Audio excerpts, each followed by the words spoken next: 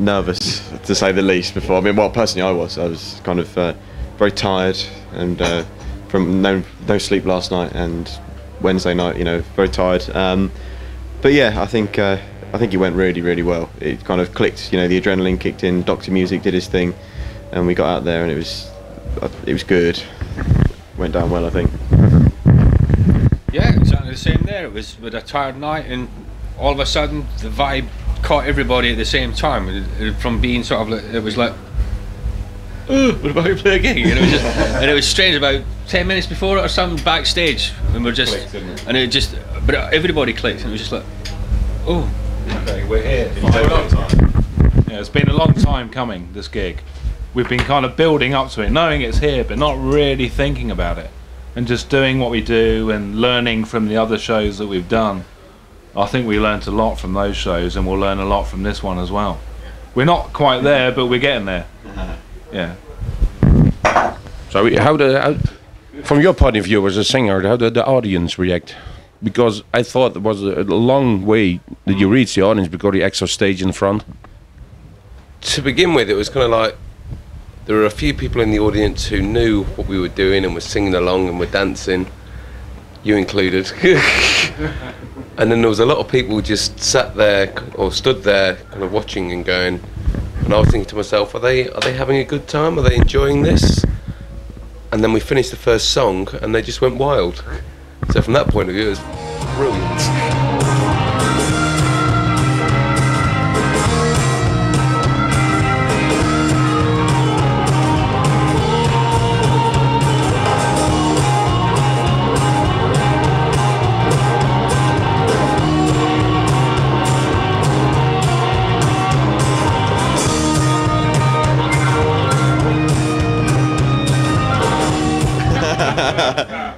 I don't know. I'm, I don't know, kind of 70, 75, up there somewhere. hit our peak. That's the thing. We, we, we do these gigs, and we, we I think you know today we played we played really well. But there's still something more that I think you know when it clicks. I think you know the world's going to blow up or something. You know? but it's I think it's you know As you today's said- a good one. as you said earlier, if you look at the first shows, the progression, we're listening to people, what people are telling us, and we're using it. We're, we're finding the centre place and stage where people need to be when things go on, and people backing off and people taking things. There's a bit of stagecraft appearing now as we're getting in there, and it's just, it's just coming that way. The It's show's quick. You have, developing. you have to learn quick.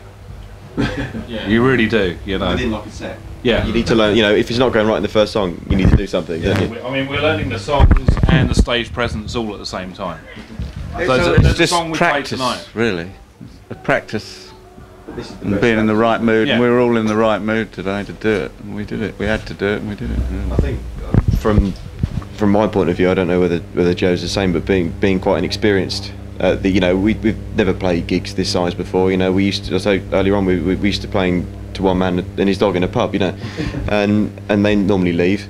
So you know, but it's kind of when you, you turn up and there's all these people there and you're getting a response. You know, you do a solo and you get a round of applause, and it's just like you kind of learn from there. And you know, I find that since the first time we came out, since the, uh, the Queen's Night, um, that it's just that seems a million miles away now. But it's not, you know. But it's just kind of today, it's gone up another kind of gear. I think from from my point of view of how we're playing. You know, yeah. Now today at, at the end of the at the end of the gig, just the the sheer volume of noise and and love being passed back to us. It was Well, it helped. It helped that we weren't opening the festival. Like we were sort of two or three down today, like, and the other three festivals we were more or less opening up. And that, that's the hardest job of all to open up because you're bringing the crowd in, which we did, but we didn't get them to the state they were in today, where you know they'd been They were already warmed primed up, weren't they? for You it. know, they were.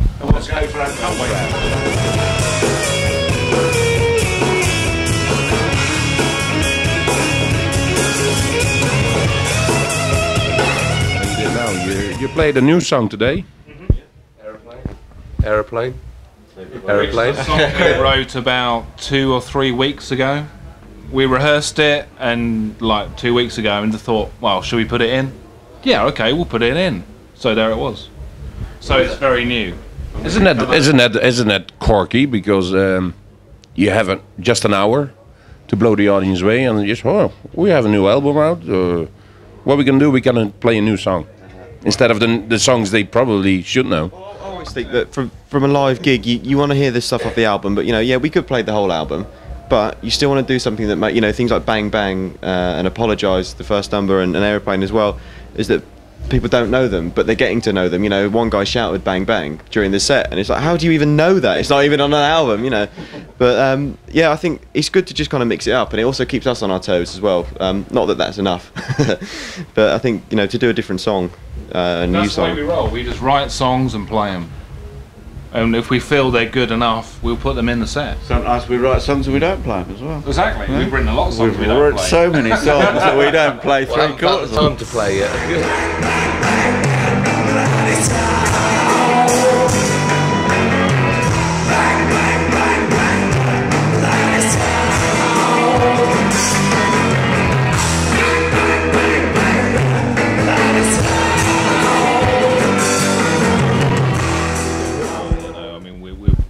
grinding out the blues clubs in the UK, trying to sort of work the festival circuit as well. But then we get our kind of three-hour slot and we just do everything, and that's probably where we're best at.